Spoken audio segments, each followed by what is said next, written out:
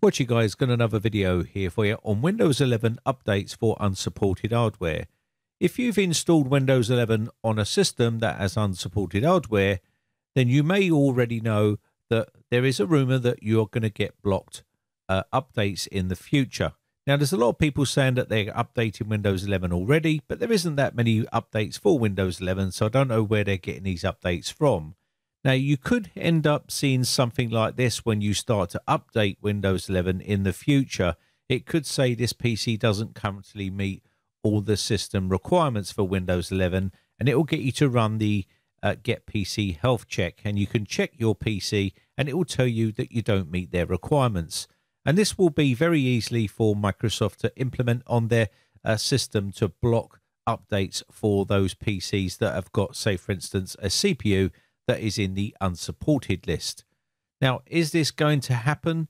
We don't know. Microsoft have already said officially in one of their articles that they are going to now start to block security updates. As you can see here, installing Windows 11 on devices that don't meet minimum system requirements.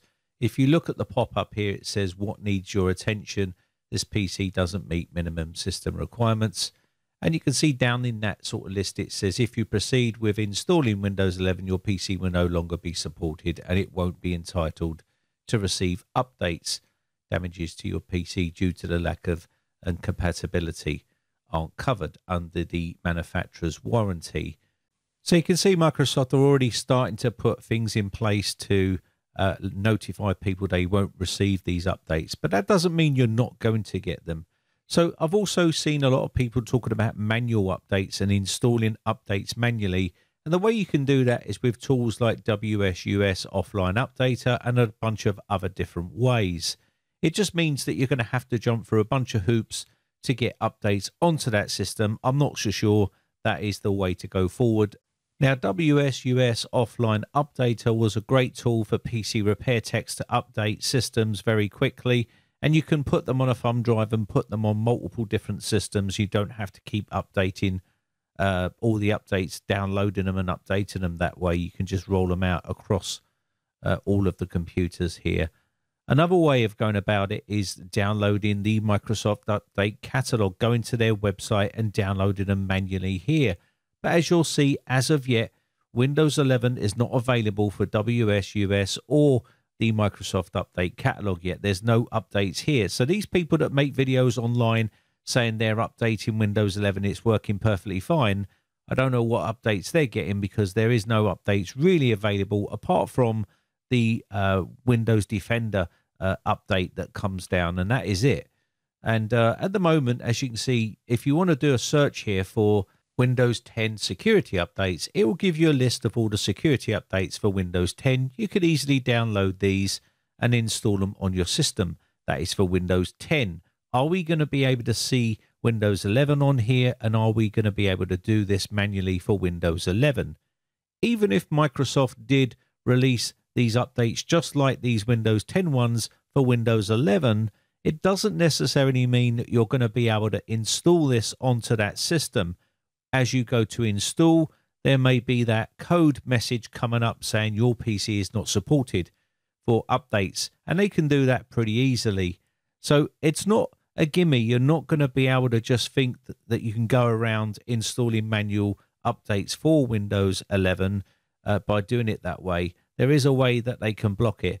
Are they going to go to all this trouble to block updates uh, manually? I really don't know. We'll have to wait and see, I suppose.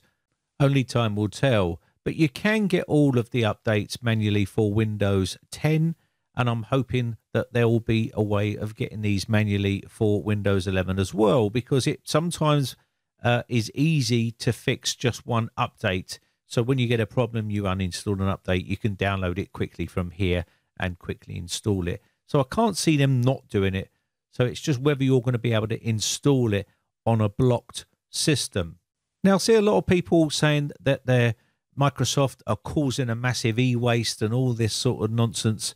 But really, at the end of the day, Windows 10 Home and Windows 10 Pro follows the modern lifecycle policy, and Microsoft will continue to support at least one Windows 10 semi-annual channel up until October 14, 2025, which gives probably the life cycle of that hardware anyway. Now, Windows 10 will still support all unsupported hardware that is not supported on Windows 11. So if you do have an older system, you can still use Windows 10 up until 2025 and possibly longer. So there's no need to panic just yet because you still have an operating system to use. Now, what other options are available to you if uh, you don't want to use Windows 10 all of a sudden? If you've lost faith with uh, the Microsoft platform and you want to jump on another operating system, well, there's quite a few to choose from out there. But obviously, the immediate one that people are going to mention is Linux, and there's quite a few distros to choose from if that is your thing. Now, whether that's going to be something that you're going to be able to get used to, but there is a bunch of ones that I would advise that you try out. And let me give you a list of them here. So, Pop! OS is a pretty popular uh, distro you can use. You can download this and use it for free, and you can install this on your system. It looks and feels a lot like Windows 10, so you're not going to feel left out and it's very easy to use and understand. Ubuntu is another user friendly, uh, easy to get used to for uh, you know Windows users, and you can see here you'll be able to easily download this on the system and create a bootable USB flash drive and install it on your computer. Linux Mint is another useful little operating system that you can install is another free one you can download and install on your system very user friendly for Windows users that have never used another operating system before. Elementary OS is another option you can use. Again, this is a beautiful looking operating system. And of course, we covered the Zorin OS before, but it is a really good option for people that are jumping over from a Windows based system to a brand new operating system. You're going to need to learn how to use a new operating system and get used to using a lot of uh, new software which is based on Linux. That would be my personal opinion.